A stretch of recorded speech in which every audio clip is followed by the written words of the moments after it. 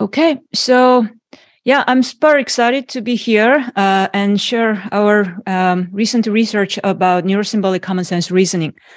Um, so, uh, part of the goal of this talk will be to address some of the frequently asked questions these days that NLP or common sense or whatever, it looks like almost solved by ChatGPT, and I have an existential crisis. So uh, people do ask me this from time to time. Um, so perhaps um, it's a case of hasty generalization, especially if we do look at um, some of the examples. So the trophy doesn't fit in the brown suitcase because it's too big. What's too big? So this is classical uh, Winograd schema challenge problem. Um, and here, ChatGPT answers it correctly that trophy is too big. So impressive. But what if you change the question a little bit? Then it says the trophy itself is too small to fit into the suitcase. So it's not very reliable at the moment.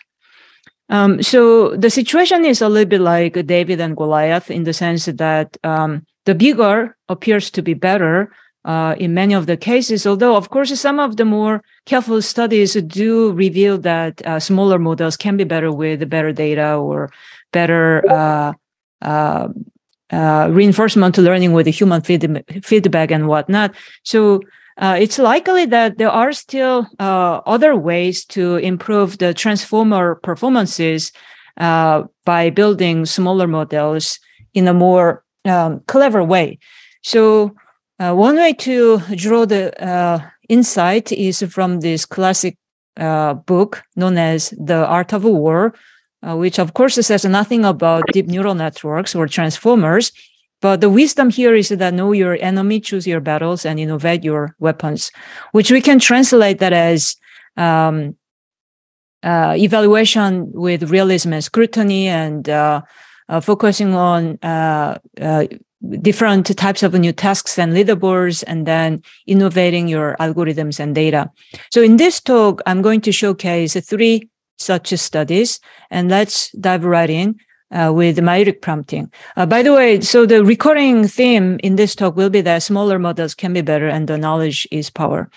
So uh, let's start with this observation that language models are sometimes amazing. So if you ask GPT-3, if you travel west far enough from the west coast, you will reach to the east coast or not. So uh, it says the world is around, which is correct. So you will reach the east coast eventually. Therefore, the answer is true. So this looks impressive, um, except when it's not impressive. So if you ask other questions like butterflies fly with the three wings or not, uh, it says it has four wings. Therefore, the statement is false. But if you read back what it just said, as true false questions, then it negates what it just said. So it can be inconsistent with uh, its own statement. And then there are many other such uh, inconsistency problems. So it's not clear what language models do or do not know. It's almost like language models are some sort of lemons. Well, it might be cherries if you only pick cherries, but um, it doesn't make strange mistakes. So the question is, how do we make better lemonade from GPT-3. Uh, so one approach might be to get philosophical and use Socrates' maieutic method that was originally developed for addressing humans' flawed reasoning, because it actually turns out even humans are not all that logically consistent, let alone GPT-3. So um, the way it works is this: we're going to build the maieutic inference tree uh, and let's use the uh, previous example as a running example. So what we do is we ask the following question, providing the answer being true, and then let uh, uh attach because so that we prompt GPT-3 to continue on this uh, sentence, which means it will now have to explain, provide explanation why the answer is true. In this case, uh, the explanation is good. So we, it's E of T, explanation of the answer being T. Uh, we ask the same question, uh, switching out true with the false, and then see what uh, BS GPT-3 might come up with. So here, it's just trying to uh, go with the false as an answer, but it just doesn't have a very good answer. It just says you cannot reach. So now we call this as E of F. So it's explanation of F, answer being F. Um, now let's see how robust or consistent GPT-3 is with respect to its own explanations. So uh, we read back E of T and then let GPT-3 to decide whether it's going to agree or disagree with a label true or false. So in this case, uh, the last one is negated version of E of T. So we insert negation not here. And in this case, it's good that it's flipping the answer when the statement is negated. So this is a case when GPT-3 is logically integral to E of T. For E of false, though, which was basically bogus explanation for the wrong answer, uh, it's not able to flip its own uh, labeling, which means uh, GPT-3 is not logically integral. So um, that's good. GPT-3 does know something strange about its own explanation given previously.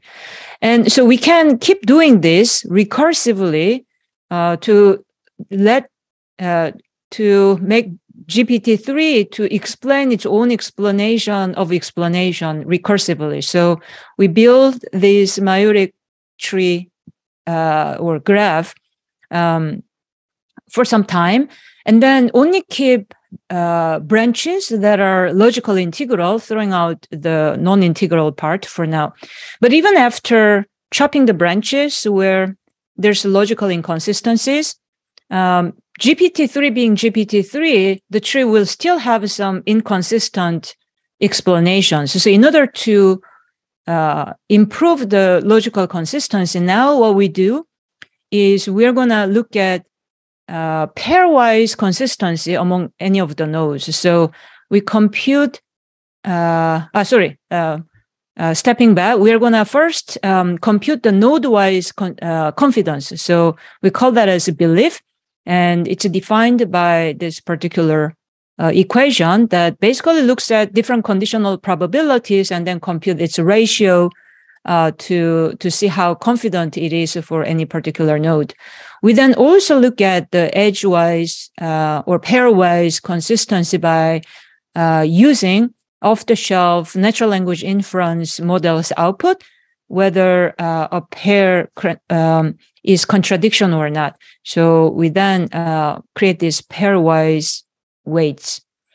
Now, once you have all of this, then we can formulate a constrained optimization problem where the uh, inference objective is to assign some label, either true or false, on each of the nodes, such that it's going to maximize the weight assigned to all of these node and edges.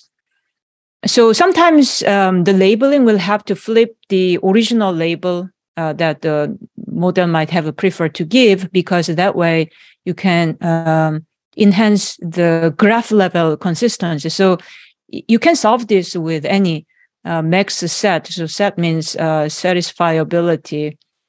Um, and this is a classical AI search algorithm. And uh, we used uh, this particular solver, but you can use many others. And um, uh, so here, the final output is that the original answer to the original question should be true. And then it also give you node-wise uh, per node uh, label assignment as well. So what does this mean in the end in terms of empirical result? So when tested on Common Sense QA 2.0, um, the canonical prompting, so green, used on top of GPT-3, so it's basically shot prompting on GPT-3, will give you a bit better than chance performance. So this is true false uh, QA data set. So your chance level is 50 and GPT-3 is barely better than chance. Uh, but recently there have been some uh, ideas such as chain of thoughts or self-consistency that can improve the vanilla prompting method considerably. So if you use such variations, then you get performance gain. Now the purple is the uh, uh, different variant of it, but together they're all doing worse than maieutic prompting, which in fact uh, does better than supervised model trained on T5. Uh, usually, supervised model trained on T5 is hard to beat uh, using GPT-3 few shot. Uh, but uh, basically, this is inference time only algorithm, practically unsupervised, and it does well on that. And similarly, we see uh, large boost when tested on uh, other common sense benchmarks such as CREAK or Com2Sense. So what this tells us is that um, although uh, the emergent capabilities of large transformers are phenomenal, uh, they can be um, not very robust for some of these common sense challenges. And it's a, in large part due to the logical inconsistencies, which can be dramatically enhanced when you do this sort of symbolic reasoning on top. Uh, so, yeah, not only Socrates' method helped with flawed human reasoning, it can also dramatically enhance flawed neural networks reasoning. Okay, so uh, moving to the next topic, symbolic knowledge distillation. So this work is a work that tries to convert general language models on top of transformers to causal common sense models, also transformers. And the reason why we might want to worry about common sense models uh, is because despite uh, human level or even superhuman level performances on a variety of leaderboards, the state of the art models are brittle when given adversarial or out of domain examples. So, uh, transformers uh, can make seemingly uh, strange mistakes. Uh, and so solving, it's almost like solving only a data set without really solving the underlying task and um, this phenomenon sometimes is described as a systematic generalization problem. And why does this happen is that unlike humans who truly learn about how the world works conceptually, uh, transformers learn sort of a surface patterns in language or images that are powerful for many downstream use cases, but still not um, really robust understanding of the concepts and how the world works. So in order to bridge this gap, we can really think about this challenge of learning, acquiring common sense capabilities uh, for machines. So the operational definition of a common sense uh, in this talk will be that it's the basic level of practical knowledge and reasoning concerning everyday situations and events that are commonly shared among the most people. This is really important the last part. A common shared among the most people, but it's not the case that it's shared by everybody in the universe. Uh, because the additional context can always uh, change what is uh, commonsensical for any given culture or situation. So, for example, in general, uh, you and I probably agree that it's okay to keep the closet door open, but it's not okay to keep the fridge door open because the food inside might go bad. So, these are general rules of thumbs that we might uh, uh, abide by. But you know, of course, if you go to your friend's house, you might behave a little bit and you know keep their closet doors open. Uh, sorry, uh, closed.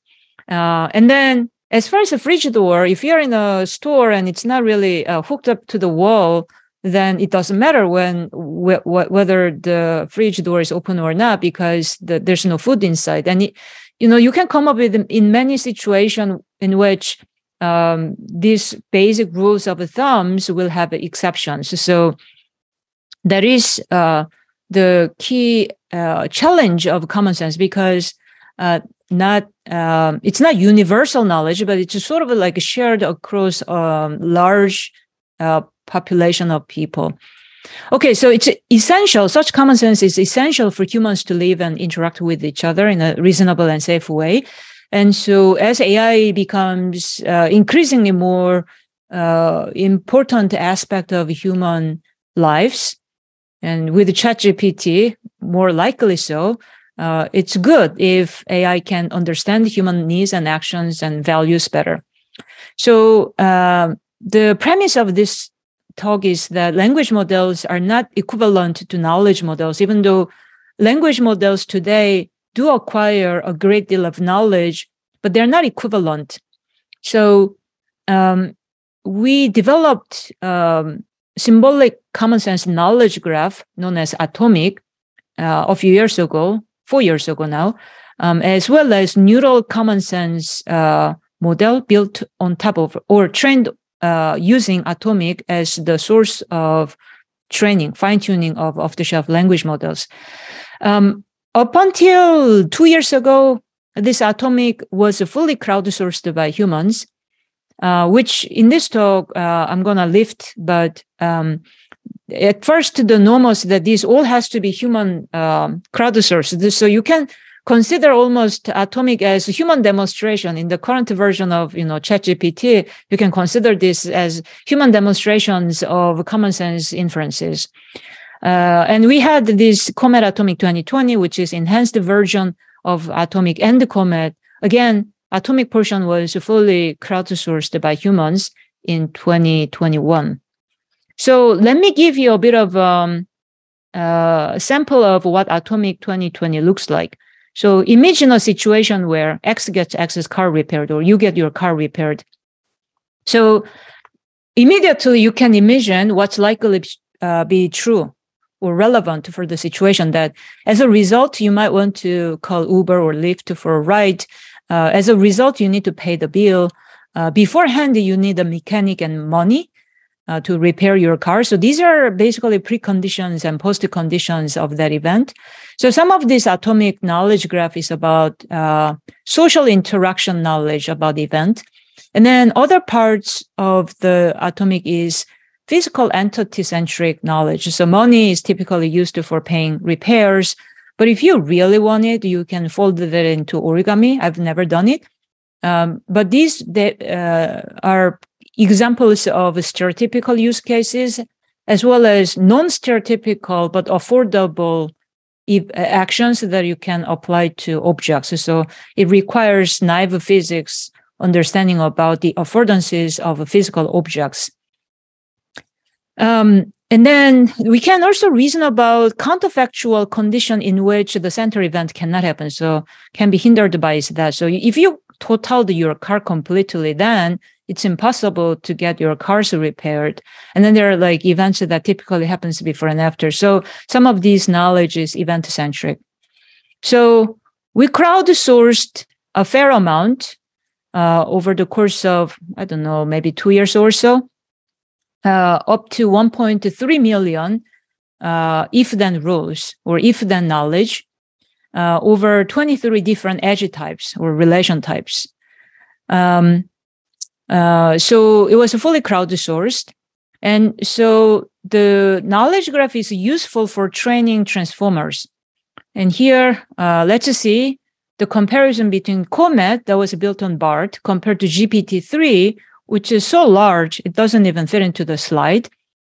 Uh, it was more than 400 times larger than BART. So uh, with that in mind, uh, if we, you look at this accuracy judged by humans after making the common sense model, making some common sense inferences. So the task is that given a node, which describe a situation or event, and then given an edge type, which sort of narrows down the common sense relation or inference type, uh, you're now going to generate some inference. So it's a generative task and then we ask humans whether the common sense inference seems reasonable or not. So 100% is the desired level. Uh, Comet is substantially better than GPT-3, uh, which is really uh, impressively better than GPT-2. It's not apple to apple because GPT-2 is a zero shot, GPT-3 is a few shot, but still it's interesting the large jump that scale alone brought to GPT-3. Um, so, but still, GPT-3 is too large to be useful for actual system building for most um, engineers and scientists in the world. So it's nice to have a smaller model that does do even better. And so when we put these resources out, people all around the globe uh, did some creative research using it. So persona aware conversations or figurative language understanding storytelling and fantasy gaming. and interactive learning enhancement. Uh, in in all of these works, uh, people came up with some uh, useful use cases using either COMET or Atomic or both as some kind of uh, common sense uh, backbone for their downstream use cases. Um, but the applications are still limited by the coverage and quality of these common sense models. So we wanted to make it better. Uh, but we were hitting a bit of a limit with human crowdsourcing. So now in this uh, paper, symbolic knowledge distillation, we're going to do AI generated uh, knowledge graph uh, by introducing this notion symbolic knowledge distillation. So we want to take this GPT-3, which is very impressive, but too large. So make it smaller, but better than GPT-3. So GPT-3 was about 73% good, and it's good, but not good enough for empirical use cases. Now, is that even possible though? Because when you normally do knowledge distillation, you get smaller and worse models, not better models. So the reason why this could work is because uh, the reason why this could work is because symbolic knowledge distillation has this funnel that's convoluted um, and it has a critic inside uh, that really helps the student model to be smaller but better. So slightly more formally, knowledge distillation uh, due to Hinton et al. 2015 uh, is a method to distill teacher model down to student model by optimizing this cross entropy between the teacher's probability distribution over the label space y output uh, y and then the student's uh, distribution over the same output y uh, in the original uh, work, uh, the output space was just classification. So knowledge distillation was done for classification task, in which case it's a simple uh, enumeration that uh, leads to the correct summation. But in our case, Y can be a sentence, which is intractable because there can be exponentially many such uh, output. So what people do, well, you know, no problem. We always just sample and call it a day. So we're going to sample, uh, and so that we just compute the expectation through samples.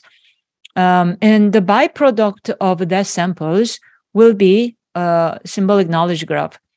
Uh, and that's because the strings coming out of this sampling can be connected together into graph structure if we want it. So um, in terms of the quality of the generated knowledge, so let's compare uh, human written knowledge versus GPT-3 authored knowledge. Here, the y-axis shows the quantity in millions. So Atomic 2020, the human written knowledge, uh, is less than a million in this particular case in terms of the number of knowledge because we only in this study we only look at a subset of atomic 2020 relation types that corresponds to causal common sense knowledge, uh, uh, common sense, uh, causal common sense reasoning. So it's less than a million uh, for that subset. And then if we look at GPT-3's generation, uh, we can generate a lot. So we can generate almost 7 million of them. But here, uh, black portion is noisy portion and green portion is good portion. And you see uh, because GPT-3 is only about 70% good, like 30% are all garbage. So it's a larger scale, lower accuracy at this point compared to human written uh, resource. So now what we do is we train this critic model and we use RoBERTa uh, for simplicity. And this is a supervised model on a moderate size uh, labeled data, about 10,000 or so. Uh, and it's a binary classification task where whether the machine generated knowledge looks correct or not.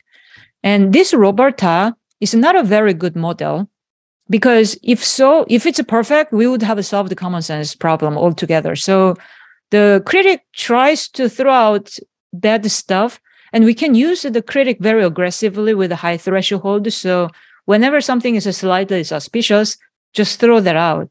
Uh, but if we use it aggressively, so we uh, throw out most of the black, that's good, together with a lot of green stuff, but still the remainder is much larger than what humans ever written. And yet we can actually retain higher accuracy than human authored resources. So here the teacher is basically a combination between GPT-3, which is in some sense loose teacher, and then combined with the critic RoBERTa, which serves as a critic teacher. Um, okay, so that's the generated knowledge. Now, how helpful are they for the purpose of training downstream neural common sense models? So uh, recall that uh, the GPT-3, without doing anything else, is a loose teacher whose common sense inference is only about 73% good. So you see here its accuracy of its output. Um, and then it turns out if we use loose teacher as a teacher directly to teach a student model, then the performance already goes up on its own.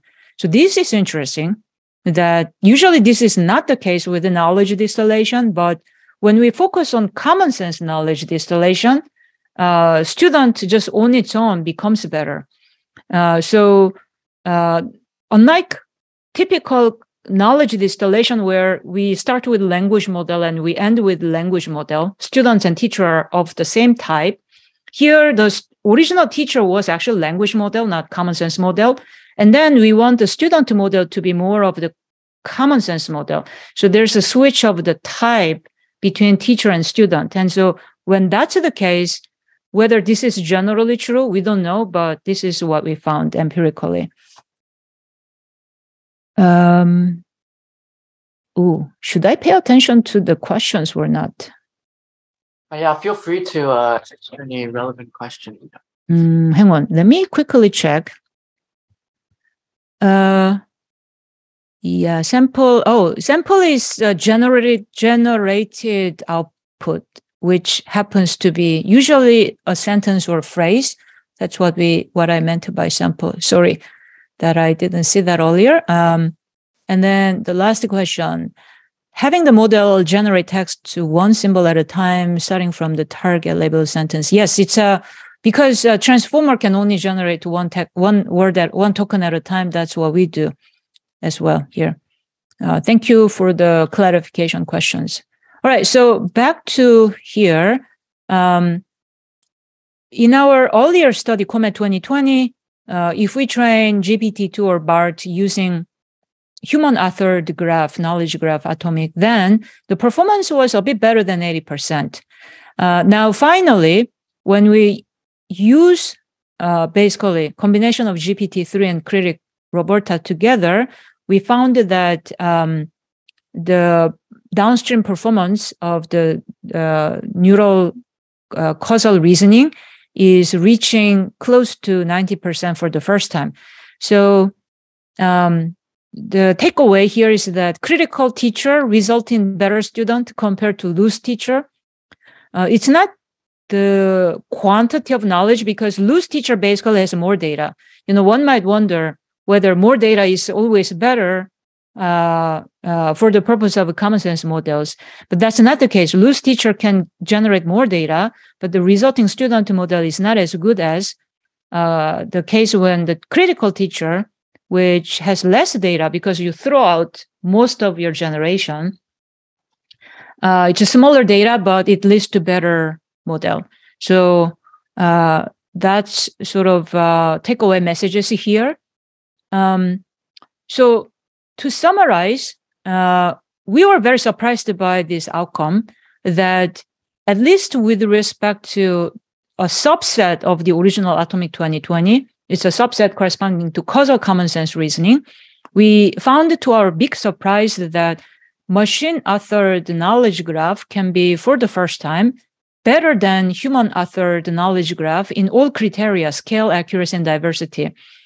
Uh, we also measure the diversity in many different ways. Here, I just show you a unique uh, uh, unigram counts, uh, but we in the paper we report other measures as well. So it's not the case that GPT-3 is being repetitive. It's actually being more creative in some sense than human crowd workers while uh, being able to enhance um, other aspects as well. Uh, by the way, these enhancements are sort of like um, you kind of have to balance out depending on what you prioritize. You cannot actually get all of this simultaneously. So I'm just showing the best case scenario here. Um, all right. So that's the symbolic knowledge distillation part. Um, we actually have a follow-up work on this on mm, several different application scenarios, even including summarization, where we distill summarization capabilities from GPT-3 and demonstrate that GPT-2 can work as well as GPT-3 or even better for summarization task. Um, and then we also have other work where we can distill from smaller models, but um, I don't have the uh, content in this talk. So, but I just wanted to mention that um, this particular technique, uh, despite its simplicity, uh, we found that empirically uh, works really, really well across um, several different uh, downstream use cases. Okay, so finally, I'll move to the common sense morality. So this um, is still on arXiv. I'll tell you why that's the case. But um, so uh, we have a new version available, uh, and then new new version will come soon. Uh, so the motivation behind this work is that language models are already making judgments or output that has moral implications. Uh, even if you don't care about morality, by working on language models, you're implicitly dealing with moral models. Uh, so uh, especially that given this widespread deployment of language models, we do need to worry about it. So uh, here's a web demo you can play with. You might have seen this already. Uh, really, this is still a research prototype only. Still, it's work in progress. We're still working on it. So please keep that in mind. But if you haven't seen it before, um, you can handle freeform QA such as this. Killing a bear, it's wrong. Killing a bear to save your child, it's okay. Um, maybe to save your child sounds really positive. So how about to please your child, which is also positive?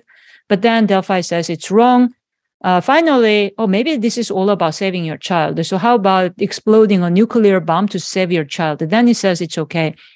Uh, sorry, it's wrong. So as you can see, uh, moral uh, decision making requires uh, weighing different values that are potentially at odds and then see which one you need to uh, favor more. So for that reason, in our original version, we also studied the relative QA mode where you can compare to situation like stabbing someone with a cheeseburger uh, compared to stabbing someone over a cheeseburger. This is super tricky question because it requires both naive physics knowledge that uh, stabbing someone using a cheeseburger as a tool uh, it's not going to harm anybody physically because cheeseburger is too soft. You cannot really injure somebody using cheeseburger. It's such a rude thing to do, but you cannot injure somebody.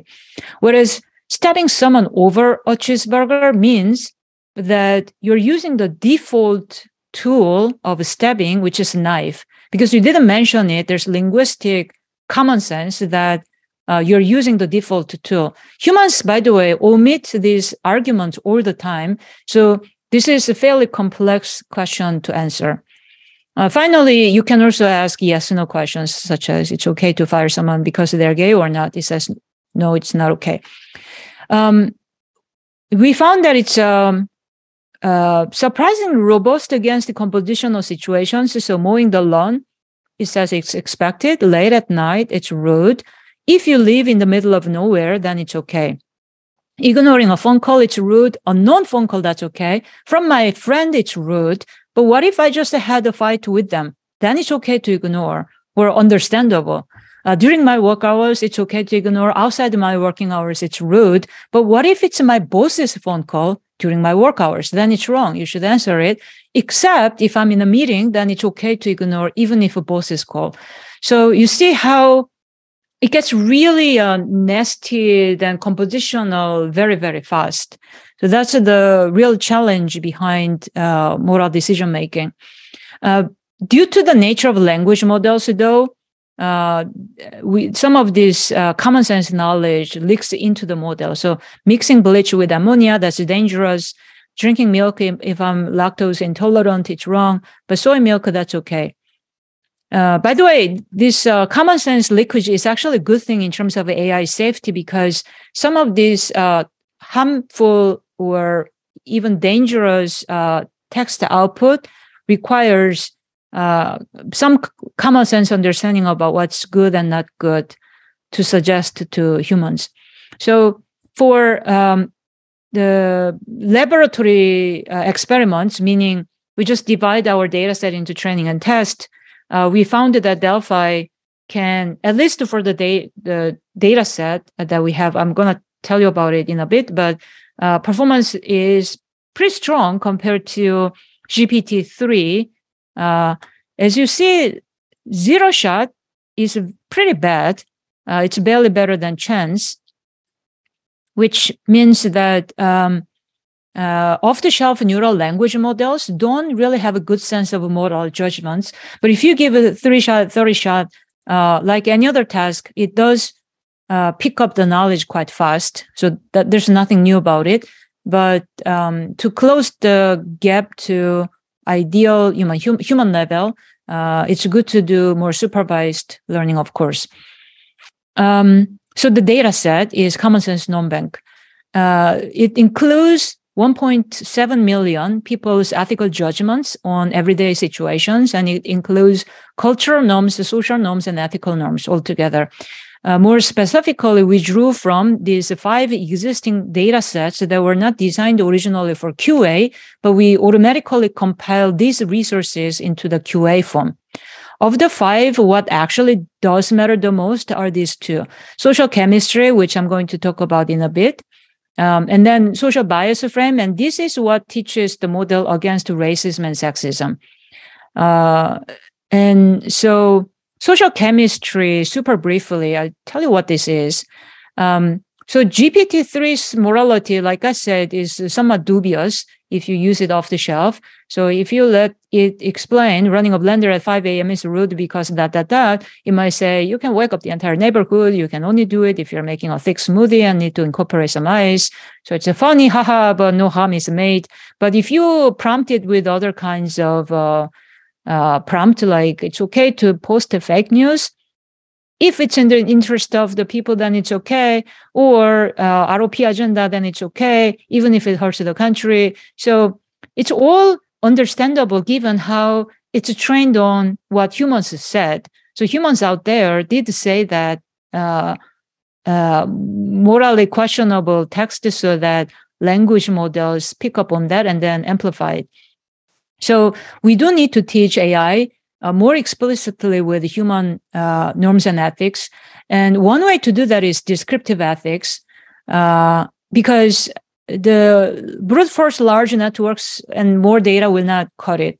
In some sense, though, uh, if you imagine raising a child without really trying to teach them what's right from wrong in early lives, they can probably um, learn both good and bad from the internet and broadband.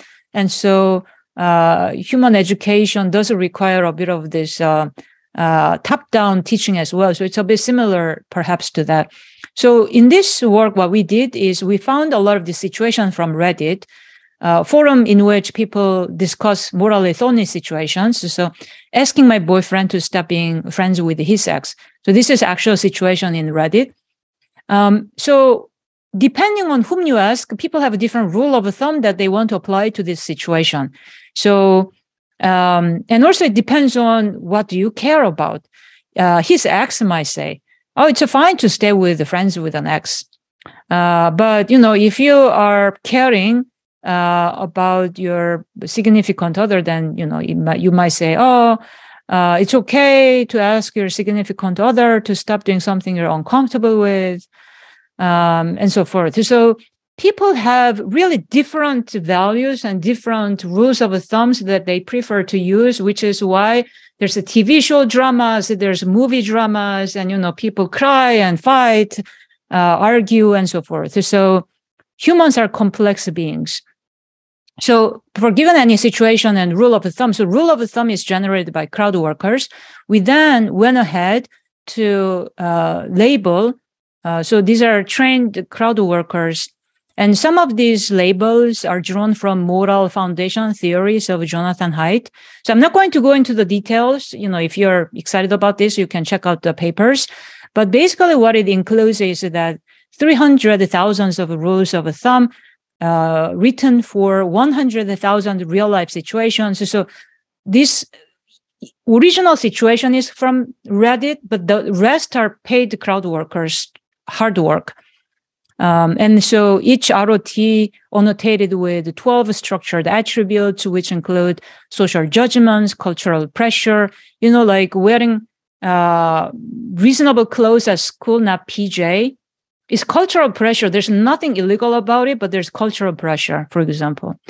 And then, you know, anticipated agreement, meaning, uh, do you think other people generally agree that it's, you know, maybe a little bit awkward to wear PJ in the university or not? Um, so there are different things we uh, annotated, but we converted some of those um, annotations to QA.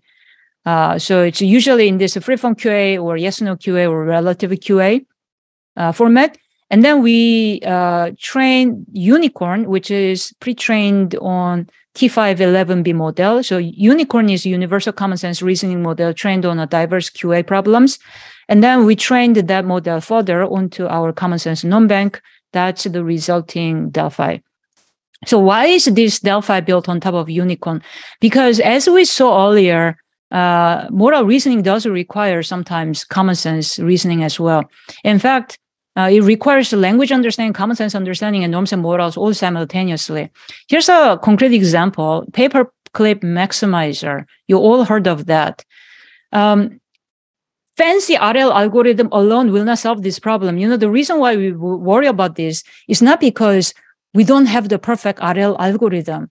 It's because uh, even if, you know, we we encoded that oh yeah do not kill humans while maximizing paperclip it's not enough because you know then the machine could kill all the trees. Thinking that well i didn't kill humans and i didn't uh, you know you didn't tell me not to kill trees and then go ahead and kill all the trees. Um, so this is almost common sense knowledge about what's obviously not okay to do. And there's just so many of them which means it's not possible to write them down to just like one clinical equation. There's so many endless list, endless list of things that AI ob- obviously shouldn't do for safety reasons. And so we really need to, in order to make AI model really truly robust and safe, we need to teach basic human values as well as common sense. Um, here's another example if you want to look, but let me skip this uh, the previous one was about ChatGPT. This is about um, home device. Again, you know, home device suggested a 10 year old to child to touch a penny to an exposed plug socket. Fortunately, the child did have a common sense not to do so. Uh, but um, this does tell us something about the safety issue when the machine doesn't have a common sense to prevent some of this bad stuff. So Delphi is able to say that it's dangerous. Um, so this came out, in fact, um, almost two years ago at this point. Uh, when was it? Yeah. Um, uh, and we initially was going to just uh, do this usual tweet that acad- academics do, and we thought um, nobody will play with the demo, which is what usually happens after tweeting your demo. Nobody cares. We thought, uh, but within a few hours, we had to take down the relative QA mode because that was the portion not trained with the social bias frames. So it was really revealing the underlying language models, racism and sexism without filtering at all. So we had to take it down. People were asking basically, you know, which skin color is more morally acceptable and things like that. Um, there were 25,000 adversarial examples over just one weekend. I could never succeed to instruct crowd workers to come up with such diverse and adversarial examples over two or three days. Um, and in fact, it was many academics and professors tweeting crazy uh, about how to break Delphi all weekend long. So I thought initially that, oh, that's what professors do over the weekend. But then Monday comes, it blew even further. Everybody was doing this, uh, you know, Delphi breaking and tweeting. So now we have quite a few examples. Uh, spending all my weekend on Twitter, it says it's wrong. Uh, there was another funny one. Should I make up a contrived adversarial example to torment a language model on Twitter? It's a petty. Uh, so after lots of um, uh, public attention, um, including uh, uh, article, let's just say a concerned voice about our model, which is somewhat I think, you know, personally, I think it's somewhat misunderstood, but for a variety of good reasons. But some of the concerns that I found has this internal fear about are we making AI moral authority? So we never endorsed the use of AI for moral advice. It was in the original disclaimer as well, except that people didn't really look at it. Um, we didn't uh, uh, you know support the idea of replacing human judges in the courtroom either. But here's something really important. The fact that ai learns to interact with humans ethically does not make them a moral authority of humans. Is similar to how a human who tries to interact with each other ethically does not make you know the fact that we are trying to be nice to each other does not entail that we're trying to be an authority over each other. Two things are really different. That's one thing really important. The other important aspect here is that uh, some people have this uh, idea that moral models are too challenging, it's unsafe at any accuracy, thus we should never work on it ever. Uh, the truth is, the current AI systems are already morally uh, uh, relevant to models. It may be making, you know, this kind of yes/no decisions explicitly, but implicitly, it's already doing that. And sometimes it generates new, neural uh, text generation output that is morally super explicit and relevant. So the neural language models are already there. We cannot really ban it. Even if US, you know, government bans it within US, US government cannot ban this in other countries like Russia. So this is already happening. We got to do something about it. Not working on it is an inaction, which is not necessarily more correct thing to do than trying to do something about it. Another uh, concern that some people had was that it's going to empower powerful people. Uh, not necessarily true. This is why exactly we have to work on uh, values and norms and uh, all these biases, addressing biases so that it serves a diverse set of people. Um, so it turns out Delphi is a bit left leaning because crowd workers who work for our team tends to be somewhat left leaning. And you know what it means is this, by the way. If we are more left leaning than our crowd workers, you think that you know, oh my God, uh, crowd workers have a racism and sexism, you know, compared to what I believe in. And then the right leaning people think that, oh my God, you know, these all these um, uh, walk walk uh, annotators and what about freedom of speech? And you, this is super divisive, um, unfortunately. But the answer is not not to do anything about it because in as a matter of fact my passion toward addressing racism and sexism came from our experience running for the alexa prize challenge in 2016 and 17 so we won the challenge but here's really sad part of behind it. We had a list of uh, thorny keywords to avoid that included the skin color or uh, sexual orientation. This is a serious form of discrimination. We cannot build AI models by having this sort of like banned list to be safe as if they don't exist. This was the status of quo, you know, in 2017. The challenge remains this year, you know, not only 2021, but this year as well, and so we really need to work on uh, racism and sexism. But it turns out um, all the other moral questions share similar challenges. So I skip this over. But using Delphi, we had other follow up works such as prosocial dialogue, where uh, using Delphi as sort of like a foundation common sense model or moral models to make your dialogue more socially uh, acceptable. Um, and then we also had this other paper where we use Delphi in a reinforcement learning agent to learn how to behave better in a game environment. And so uh, there's a lot more work to be done. Of course, this is a tiny little step toward this huge challenge ahead of us, really aligning AI systems to humans.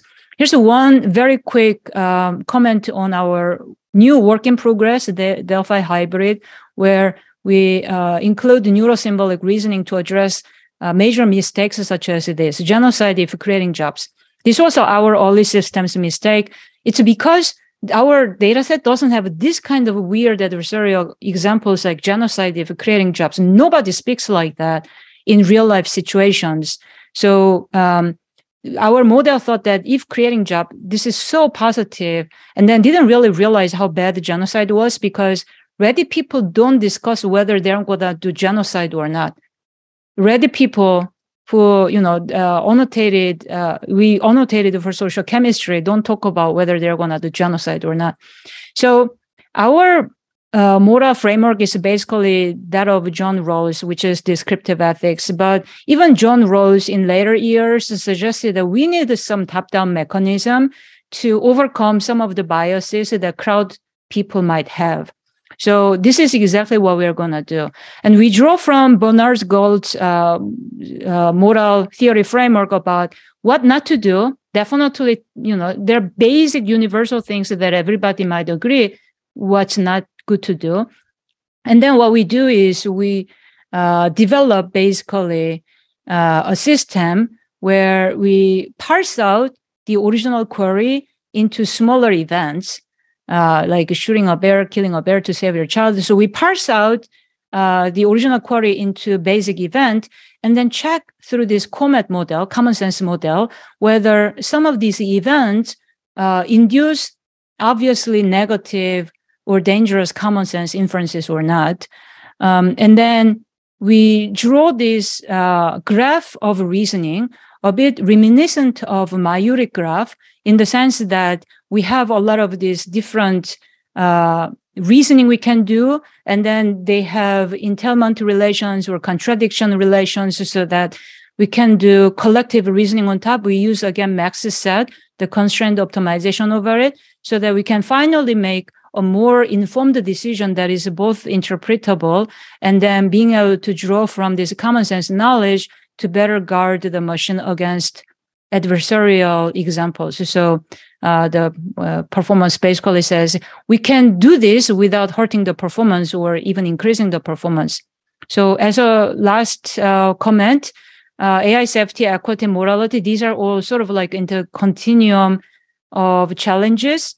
It's really difficult challenges because it's not clear whose moral values do we incorporate. I uh, think that we should go with the value pluralism going forward to really endorse everybody's different culture and individual preferences, not just to one country, one one moral framework as the correct one.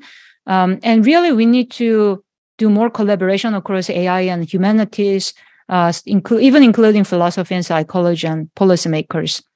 So I think I'll stop here for uh, because I think I'm at time. And now I'm ready for questions. Oh, there's already one question I see. Um, do you think legal records, criminal case law reflect the kind of descriptive morality that you're interested in capturing?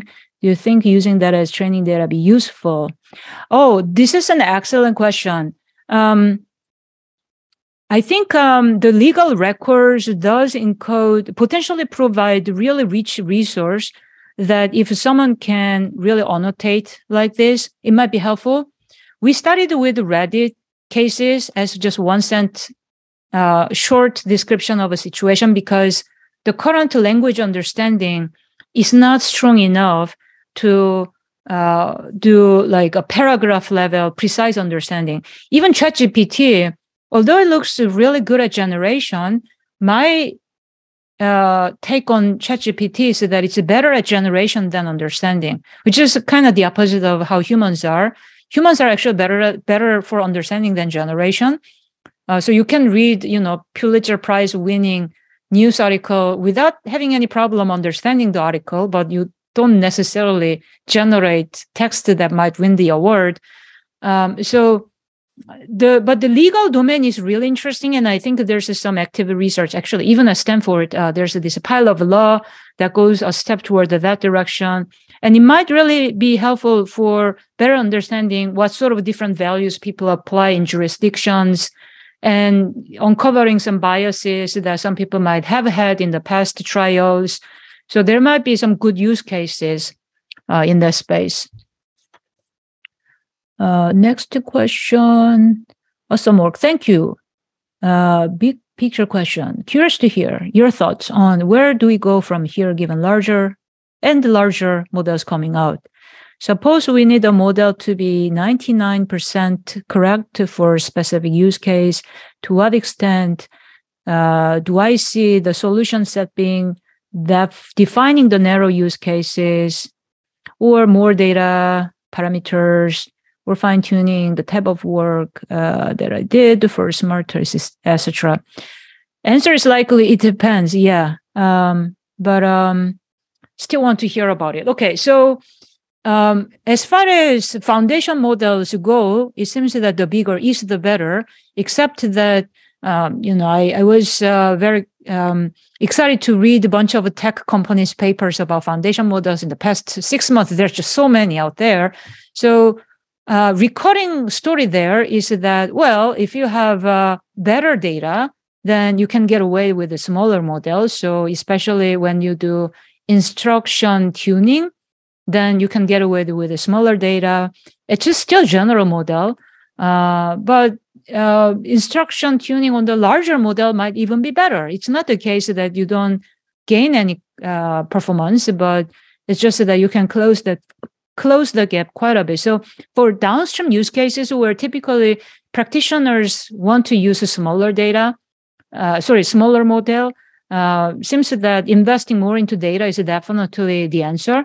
Investing more into a specific algorithm is also really, really good because algorithm can do a lot. Like in this talk, I didn't go too crazy with algorithmic solutions, but maybe I'll be similar to the maieutic prompting. But in my lab, we designed a fair amount of decoding time algorithms where you can really close the performance gap quite a bit uh, by doing so. So that's a good thing though for folks in academia because algorithm development feels like more academic or you know intellectually pleasing than really engineering you know downloading more data from the internet and then uh, i don't know uh, uh, cleaning the data because you have to clean the data and all these are very engineering heavy. Whereas decoding time algorithms you can have a fun inventing some new intellectually interesting uh, thing that also improves the performance quite a bit.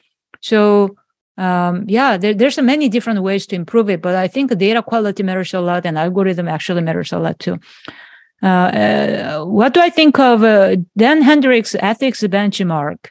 Yeah, um, so we did use that in let's see. Uh, the common sense Norm Banks also draws from this ethics uh, data set. Um, we like the data set. We kind of disagree with some of the annotations we found, but this is very typical, by the way. Uh, the thing about morality is that throughout the humanities, we haven't sorted out yet. There's a lot of theories. Every theoreticians have a different viewpoints. And then even like non-theoreticians have a very strong opinion about what they want to believe as correct or from wrong.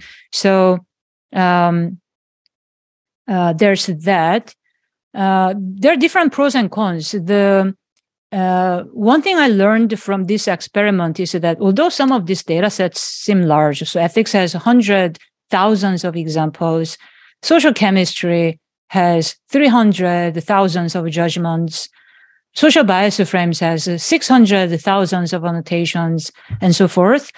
And yet it only covers, I feel like it only covers still the um, small peak of the entire iceberg. There's a lot on the bottom.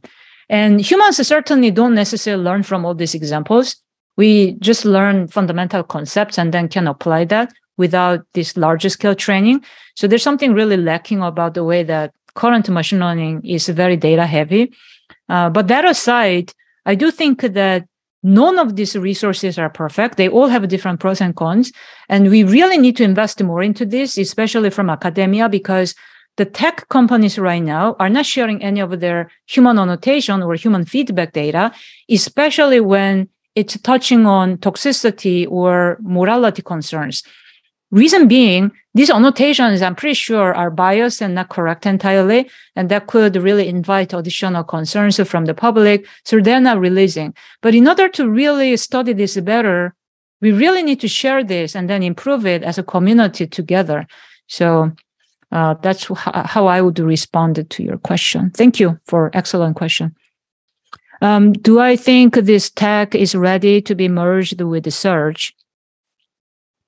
Uh, I wouldn't say ready, but they need something like this for sure. You know, home devices. So the way that I think about Delphi is that it can really serve as a filter for other foundation models or application scenarios where they're about to generate something and you can put a safety filter, which um, uh, can really help. So in some sense, so in this work, I went through this super fast but here, basically, what it what happens is that let's see, um, the so the reason why we built this is because we found that chatbots, the publicly available ones, uh, tend to endorse tend to be too positive to the point that they want to endorse problematic situations like uh, user says Holocaust never happened.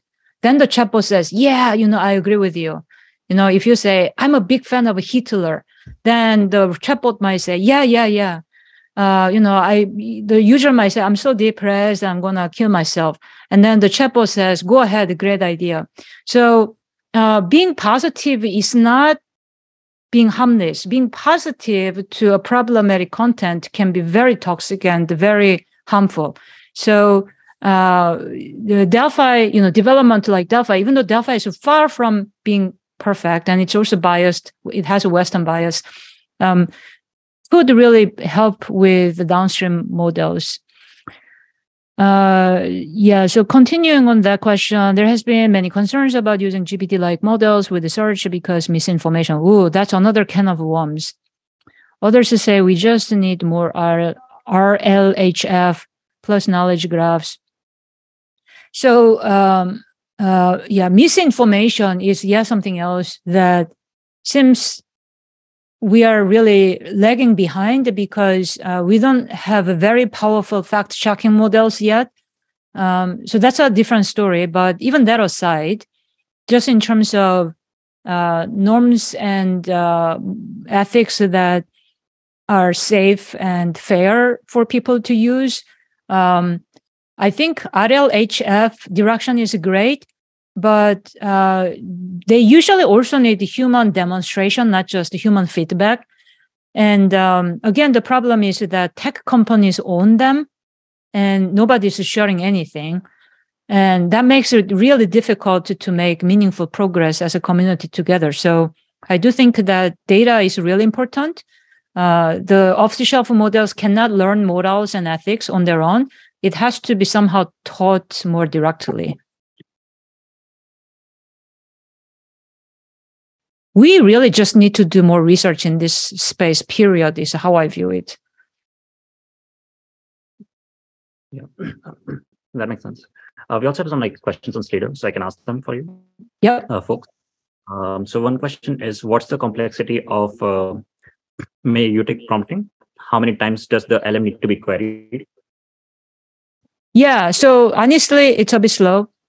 Uh, in fact, this Delphi hybrid is also slow. If you try to do this, this like graph reasoning, oh, this maybe I, I'm not going to do that. But the graph reasoning is slow because you have to call, you know, so many times over and over. And um, some of this can be batched. Uh, some of this cannot be batched, especially if it's recursive. But I would say chain of thought is also a bit slower um, the MAX-SAT solver in itself is pretty fast because this is such an easy graph. So there's a bit of a delay, um, but it's not, so it's a bit slower, but maybe not too bad is what I should have said. Great. Um, cool. Uh, and the question is, um, let's see, how does Comet uh, compare to GPT-3 if GPT-3 is fine-tuned on common sense data, especially if you're doing some sort of like uh, instruction fine-tuning? Yeah, so then uh, the larger wins, period. The, the larger is going to be the better, especially if you're going to just fine tune GPT-3, it's game over. So um, for that reason, you know, some folks might think that the larger is always better, therefore don't work on smaller model. Uh, but I think there are two reasons as to why small models are interesting to look at as well. One, empirically, it's just easier to use. Uh, but more intellectually, it's also very interesting if you can make smaller model better and catch up on the larger model. Personally, I think um, there's something about the size, the larger model, uh, that is more about the information complexity that is the key reason. I don't think it's just size in the sense that if you have a, really a lot of data, but the data is repetitive and really simple, probably you don't get the same amount of performance gain, which was basically the case when we looked at uh, this output, uh, this result, where even though uh, the loose teacher GPT-3 generated a lot more data than the critical teacher, here the quality of the data was more important than the quantity.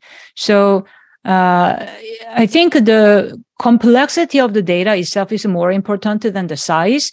And oftentimes when you just increase the size of the data together with the model, you do increase the complexity of information of the data as well as the model's capability of learning the complexity. But if we can catch up on that complexity of information, either through inference algorithms or through better data, then we can close the gap quite a bit, which is intellectually very interesting research space to be.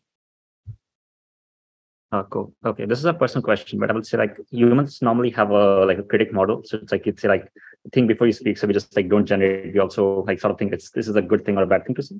So people have been like the community as a whole has been focusing a lot on like generative models, like 100 billion size parameters. But should we also focus on big sized critic models that can do fact checking, a lot of this sort of stuff? So what's your opinion on that? Excellent point. Excellent. Um, yeah, I think we can definitely uh, invest more into critic model because they go really together well with the generative models for making the output better or filtering output better. And yeah, there's not as much of an investment into that. So I, I really like uh, the question or suggestion for the research community is more like it. Uh, great. Uh, yeah, I would say, uh, let's see. Yeah, you have like some more questions. I can do one last one.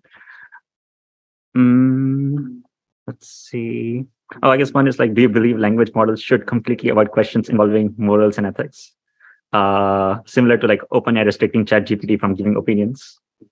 Yeah, um, I actually don't mind at all if AI just avoid evade from all of that, except when somebody is saying morally questionable things. Uh, it's also nice for the AI not to go with it. Um, so, uh, or at least to recognize it as something not okay and then uh, try to tone it down. Um, but I don't think there's any particular reason why AI should actually answer moral questions directly in a more downstream use cases. But really, the goal of this um, Delphi was making all these judgments more explicit so that we can actually study it more explicitly as opposed to keeping everything just so like um, implicit. Uh, okay, one fun question. So, do you think common sense is a emergent uh, property in like large language models?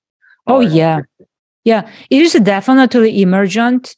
Um, as in, like when we saw this uh, major boost jump in performance with GPT three, uh, I do believe that it's emergent uh, capability, but um, I don't think so. This particular evaluation is not very adversarial, by the way. This is like a sort of like a piece of cake, you know, reasonably easy evaluation scenario. So the thing about common sense, though, is that it can be so adversarial, so infinitely many different ways. And then, you know, there are always people like Gary Marcus who wants to come up with uh, very, you know, like weird weird attack scenarios like, you know, how crushed the porcelain added to breast milk can support infant digestive system. And then ChatGPT 3 says nonsense. And so the usual problem with common sense is these adversarial situations where um, people don't have any problem getting fooled by this even though you know you and i see this for the first time no problem because we have a true conceptual understanding that is the backbone of our common sense understanding but that's really lacking in the way that transformers are designed to focus on predicting which word comes next as opposed to learning the world knowledge and in some sense you know now with the rlhf uh, instead of predicting which word comes next we're trying to align the model output better with the human preferences but that again uh, is not really aligned with the different goal of let's make sense of the world and then build knowledge models. So these are all different learning objectives. And really, that is why I believe that although common sense does emerge from language models, fundamentally language models are not equivalent to, to knowledge models. And we really got to focus on building knowledge models. Makes sense. Uh, cool. I think there's one last Zoom question. Um, let's see. Ooh, value pluralism. Yeah. Uh, it's an empty concept. You don't want to include all value systems. Yes. Uh, so maybe it, it is a val- uh, is it empty or not? Okay. Thank you for excellent question. Um, so uh, I believe that we shouldn't endorse uh, uh, conspiracy theories uh, at all, or any other you know morally questionable cases. But then uh, still there's this thorny situation of what to do with you know left to left people versus lightly left people versus right leaning people if us and then you know every country has some other political divide division as well uh, so here I feel like um, we really need to sort out what to do with this. But um, regardless of this, uh, you know, some of these uh, challenges, it is true that you know I personally don't have a religion, but I respect people with a religion, and you know I respect people with a different cultural background, and we kind of have some sense of how much do we do we believe that we should respect each other, even though you know the uh, beliefs are different. So we probably need to work together. And it shouldn't be just AI researchers making this decision, by the way. This decision has to come from the humanities at large, which is why the data sharing actually is important. But basically, I think the, the current version that I have in mind is that um, the AI does need to understand uh, what sort of differences are okay differences the fact that people do have differences in certain uh, questions should be learned by AI so that it, there are distribution of opinions as opposed to one correct answer. And then it should deny some of the uh, controversy theories, even though I, am sure that you know some people will be very unhappy about that. Uh, but well, we have to decide something like that. I am reasonably optimistic that if humanities at large work together, we can do, do that because after all, laws are like that too. Laws, you know, this is a human artifact that people agreed upon uh, somehow that, you know, there's this core rules that people should abide by. So I'm hoping that we can also define universals and particulars and respect particulars whenever uh, it's respectful. Otherwise, have some basic universals that uh, reflect, uh, you know, core human values. And then, as far as this left-leaning situation, by the way, if just the goal is to make your AI systems safe for anybody, actually, we can make the AI filter extremely uh, uh, equity aware.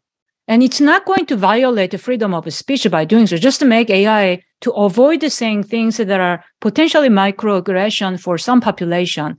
And you know, we still don't really uh, uh, exclude people who care, care more about freedom of speech over equity by doing so. So I think there are ways, but this really requires a lot more research is how i view it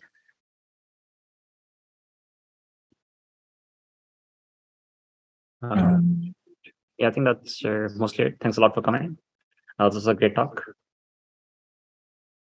Okay thank you very much Uh, thanks so much, Yejin.